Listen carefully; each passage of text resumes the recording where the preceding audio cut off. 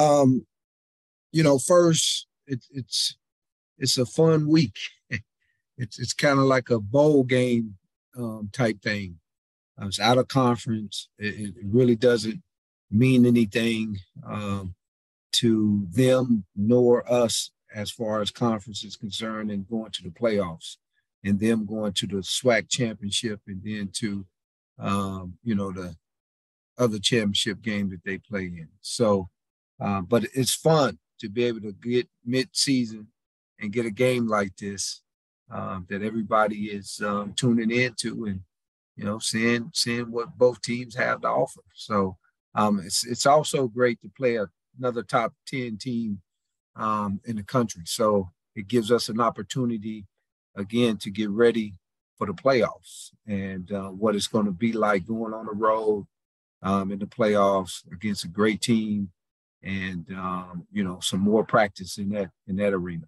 I got to say, the one fist raised dance in the middle of the group is uh, befitting. Quite, quite nice, here, Coach. I'll ask you where you got that from off camera, but uh, you got, I mean, you hit the check both boxes on Player of the Week this week as well. How nice is it to see the conference acknowledging all the hard work that's going in, not just offensively, but defensively as well, because you guys are getting it done. Well, um, you know, we're getting better every week, and, and I think that's really what you strive to do is is to get better, Chris. And and um, it's you know, Hajj-Malik Williams had a great first half, and um, you know, Brevin Allen had a great first half.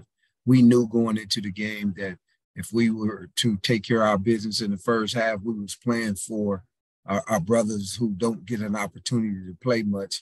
But I didn't want to put them in in in the fourth quarter. I wanted to put them in um, in the third quarter when the game is still going and they still got their guys and um, and so they took care of business in the first half um, and one player of the week with, with one half of work. And so um, that's always great to to see um, that our guys continue to um, develop and get better throughout the year and uh, transition to this week if we could here. Um, I'm not saying that Jackson's. I'm not saying that they don't have good players. Uh, I'm not saying that at all. Obviously, they got good recruits. Uh, I mean, they got big name guys, but there's only been one team. I mean, you know, game up in Tennessee they played that they were even close in. I mean, it, I'm not trying to knock the power of a league or anything like that, but is it a case of the numbers maybe looking bigger and better than what they really are? Because it doesn't look like anybody's really tested them the way that you really kind of should be tested, you know, at a conference. Well, um, you know what I what I would say, Chris, is they, you know, every, everything that they got, they they deserve, man. They, them guys are are really playing tough football um, and very aggressive on offense and defense. And and I think um, you know when you have an offense that's tempo like ours, I, I understand it. You're going to put points on the board. You put pressure on the other offense to try to keep up, and then now you got a pressure defense, and you coming after the quarterback, and and uh, and and so teams haven't been able to play regular football with them because of they get behind, and and now it's time to pin your ears back and and and let's go let's go um, see who get to the quarterback first. And and so they they really remind me of of you know not saying at this level okay so let me preface that at this level um the 85 bears man they all at the line of scrimmage and they all coming okay? And it's the 46 defense in 2022 that's that's really what they doing and and um and they make no bones about it. They coming and they're going to be man to man, and and um, and so you better block them up, or your quarterback going to be on his back all night, and and so that's what we got to be able to do, man. We got to be able to to block these guys up and and uh, give Hajj some chances and some time to um, find his receivers, but but then you look at their DBs, man. They got got DBs everywhere like we do, and and so it's going to be a, a, a great matchup for our offense and and then of course their their offense is is fast paced like ours. Uh, they they high tempo. Uh, they just throw the ball more than we do. Um, they more like you know seventy percent throwing it, um, thirty percent running the football, um, and and so they want to put the ball in the air. And um, you know why not, man? When you have Heisman, um, you know, candidate that that we trying to um, get to be um, a Heisman candidate as far as the FBS is concerned. So, um, you know, if you have somebody like that, hell, put the ball in his hand and let him go to work. Coach, if, I could, uh, if, I, if, I, could jump in here real quick, uh, can you just give me the backstory on how this game uh, came about? Uh, as far as I, I know, you guys do your scheduling years in yeah. advance or whatever, but can you just give me the backstory of how this game uh, got onto the schedule at this point of the year, whenever it came, yeah. whenever it came about? Well, I told my AD um, year one after the spring that they had, I said, man, um, try your best to get a game with Jackson. I, I just think it would be awesome um, for Campbell to play them and um, really put FCS um, on the national stage. I, I, think that would be fun. And um, so he reached out to their AD, and they was talking, and and um, finally we we um, came to some agreement as far as the ads was concerned.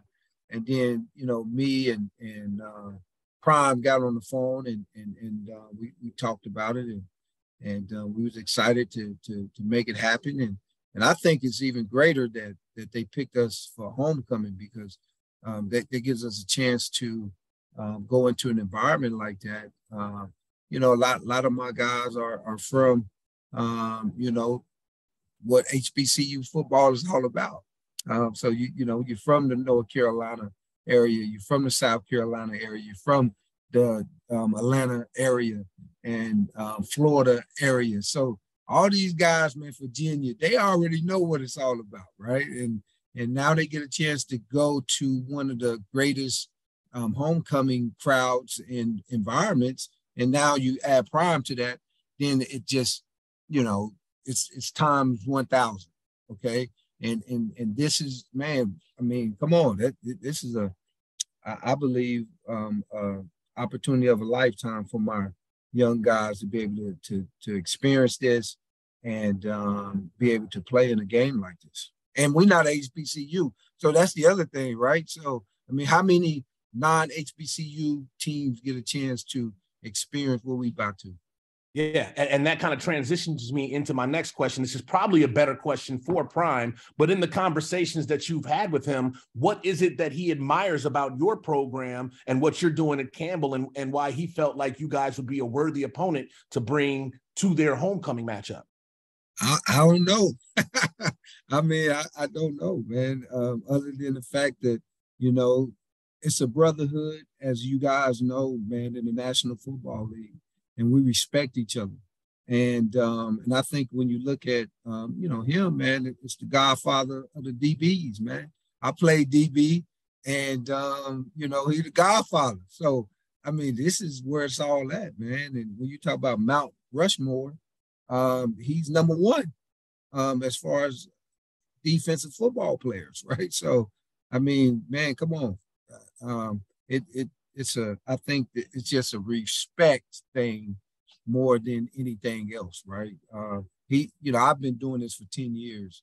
Um, he's been doing it for, you know, two or three years.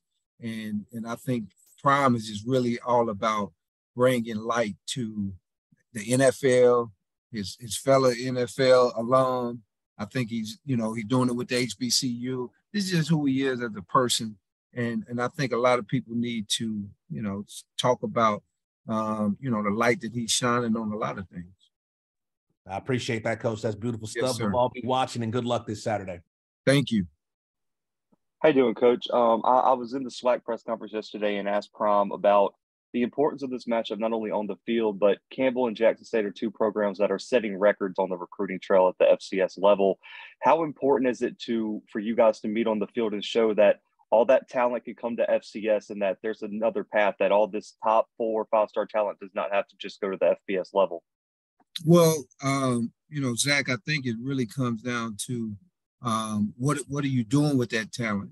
Um, because it's one thing to get it, it's another thing to, to you know produce it, groom it, and get it ready to go to that next level. Because that's really what it's all about.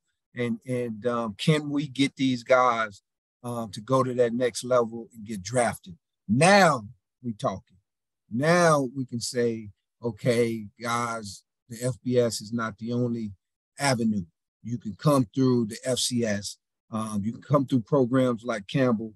You can come through programs like Jackson State and still get to where you want to get to and have fun doing it and then get developed by um, guys who live that life and know what it's really about. We didn't read about it, we lived it.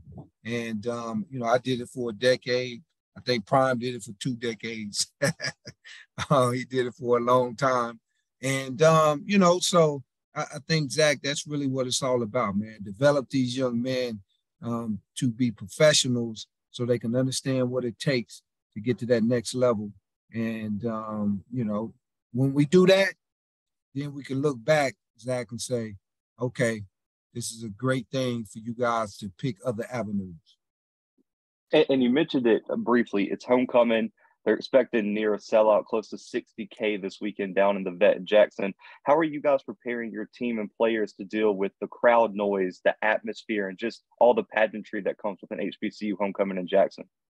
Man, I look, I've never been to one. So this this is my first one that I get to see, Zach. So so I don't know um, when you talk about preparing them for, you know, 65,000 um, you know, black people up in the stadium. I don't know what that's like. Um, I've been in a hundred thousand, but they weren't all black, and um, so we we getting a chance to to experience all that, man. I mean, I want to. I mean, you know, it, it's it's something that I've never seen either. So um, the only way that I I'm able to tell guys for anything in life is that you stay in the process. And the process is this: you chop wood and you carry water you do the simple things in life and you're doing them at a high level and you repeat it over and over and over and over and over. And then you don't get caught up into what environment you're going um, to. You don't get caught up into who you playing. You don't get caught up into none of that. You just get caught up into the process and and then enjoy the the, the moments. Okay, uh, and and that's really um, Zach how we prepare for for anything.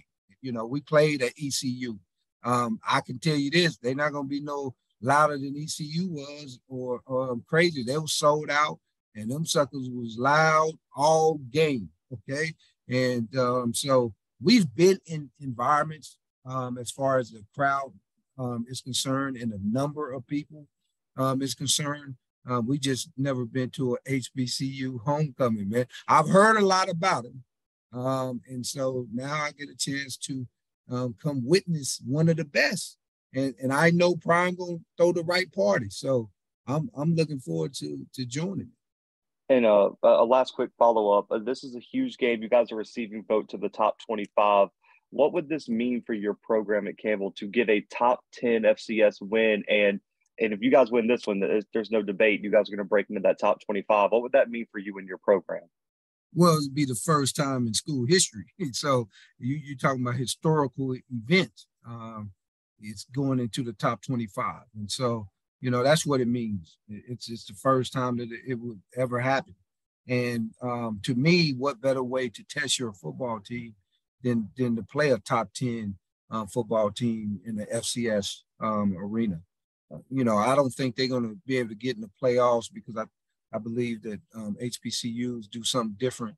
Um, and so, you know, this is a chance for us again to test ourselves. So when we get to the playoffs, we'll know what it looks like, we'll know what it feels like, we'll know the talent level, and then uh, we'll be prepared um, when November come around and, and we seeded in that playoff.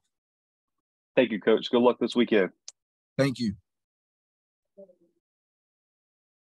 Yeah, coach, I just want to jump in here real quick. Um, you you talked about it and said, you know, it's definitely a fun matchup for you guys, but you know, it's a bowl game. It's not really pressure on either teams. And you know, what what would define success? And obviously, everybody wants to win. But what would define success for your team this weekend?